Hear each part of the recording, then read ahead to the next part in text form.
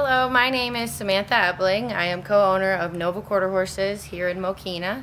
Founder is my mother, Lori Ebling. Here at Nova, we have about 30 lesson horses for our students to ride and enjoy and learn on, like Olivia. This is our indoor arena, which is 80 by 200 and also insulated for riding in the winter. We also have an outdoor arena for summer as well. Here at Nova, we offer all of your horse needs, riding lessons for all ages, boarding, training, birthday parties, events,